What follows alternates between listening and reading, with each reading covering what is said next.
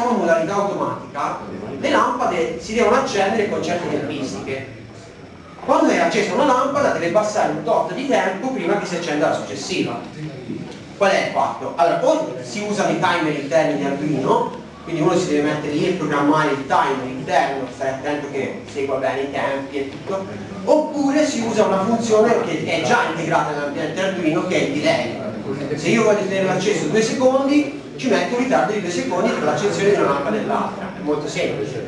Quindi semplicemente in questo software viene accesa una lampada, poi si aspetta un delay 8 secondi e poi si accende quella successiva, ciclicamente. Ora qual è il problema?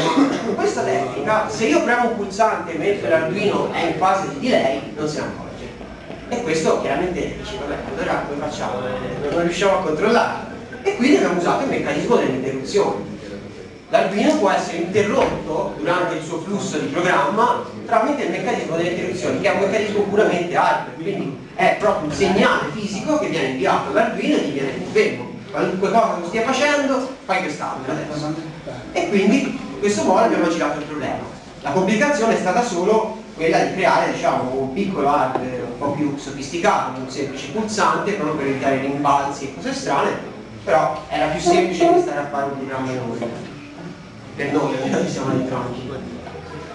Ok, vediamo brevemente lo sketch come è fatto. Ovviamente, allora, come vedete lassù ci sono vari file per questo sketch. Se io mi metto a descrivere per i punti si va a domani, quindi mi sembra abbastanza inutile. Vediamo, diciamo, a grandi linee come funziona questo programma.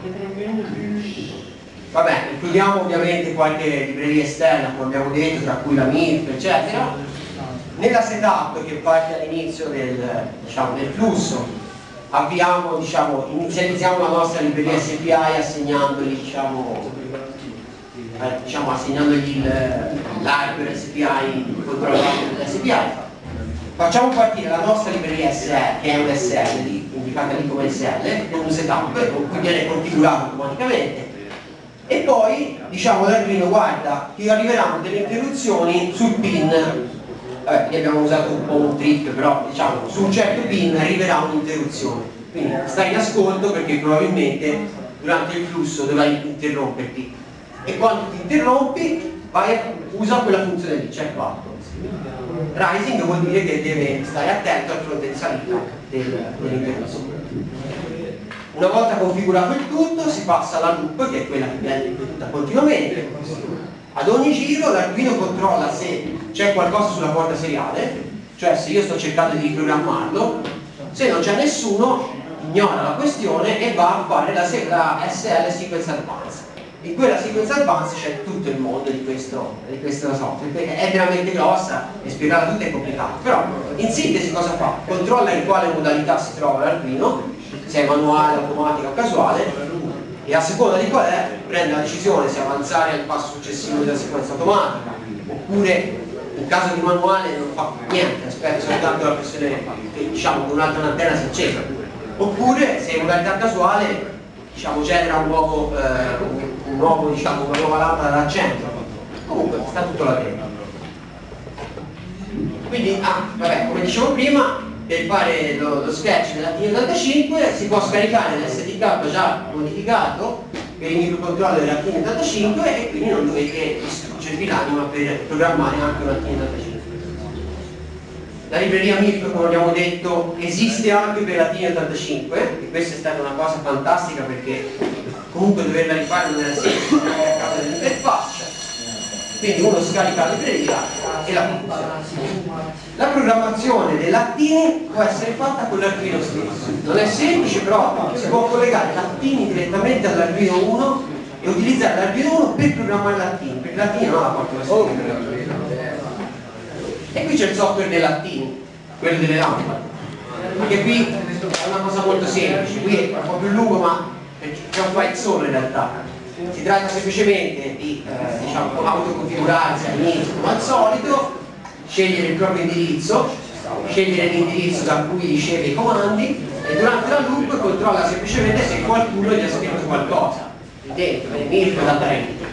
E quando c'è qualcosa, lui, eh, diciamo nel caso eh, in cui arriva qualche comando, esegue l'operazione di accendere o spegnere la lanterna Il software in Python, come dicevo, ha usato delle librerie grafiche standard, la painter del Python, con alcune estensioni per fare dei disegni più carini, non niente speciale, più comodo, più chiaro. Abbiamo usato il modulo PySerial per comunicare con le verifiche seriali, che è un modulo già pronto, che quattro comandi serializzano tutto. E infine abbiamo fatto un pacchettino tramite Py2X in modo che diciamo, il software Python era già pronto così senza nemmeno dover installare l'ambiente Python o quello che serve sul computer di chi lo usa. Quindi uno fa doppio clic come un programma normale. Purtroppo il programma per Windows non so se qualcuno ce l'ha il NAS però ce l'hanno chiesto per Windows l'abbiamo fatto per Windows. In realtà per serve il Python portarlo su un altro sistema per esempio io l'ho sviluppato sul mio Mac uno mette di base già Python chiaramente ora la va un po' riadattata perché non è immediata. Comunque il software è molto semplice. Si riempiono le sequenze si sceglie il colore della lampada e si carica tramite il collegamento USB software è veramente male. Vabbè, adesso facciamo una rapidissima dimostrazione giusto 3 secondi eh.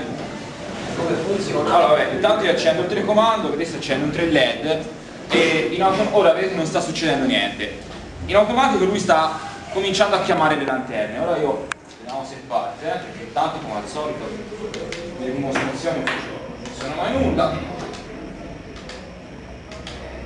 Ok, non già partite tutte, già qualcosa.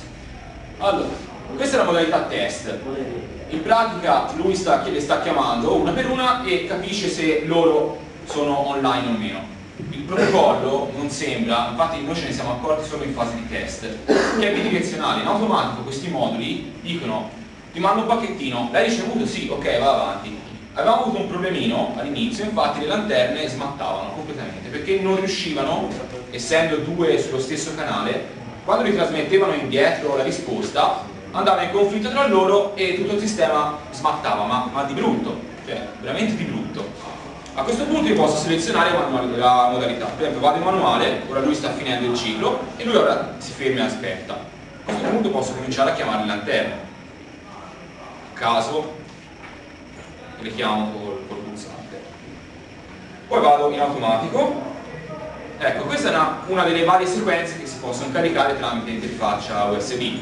Per esempio ora c'è questa qui, poi eventualmente vado su, sulla 2, un pochino più lenta, chiamo le altre la 3 questa è molto lenta, vabbè, è un problema, tipo somiglia molto a quella di prima, sono avanti e indietro. È totalmente custom questa cosa, quindi nel senso tramite quel, quel software che avete visto prima potete decidere per quanto accenderle, quali accenderle e, e come fare il loop, quindi è veramente abbastanza versatile.